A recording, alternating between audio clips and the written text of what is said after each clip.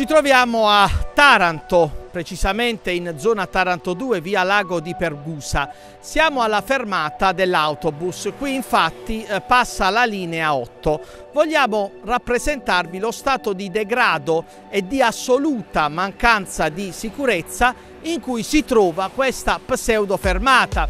Perché quando parliamo di fermata, beh, noi desidereremmo un minimo di fruibilità di vivibilità, un minimo di sicurezza, cose che non ci sono assolutamente perché vedete qui tutta la zona è invasa da erbacce che non vengono tagliate e rimosse da anni.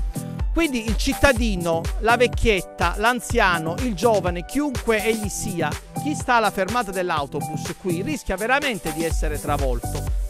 Si vede costretto a restare, a stare sul ciglio della strada con i rischi appunto, con il rischio che qualche macchina lo travolga e lo mandi all'altro mondo transitando, passando dall'ospedale, perché chiaramente è costretto a stare sul ciglio della strada, mica può, eh, come dire, entrare a pie pari nelle erbacce, immaginate un po', mica io potrei entrare e per ragioni di sicurezza aspettare l'autobus tra le erbacce, tra le serpi, tra gli insetti e quant'altro. E allora amministrazione comunale, signor sindaco, quando si decide a far tagliare questa erbaccia?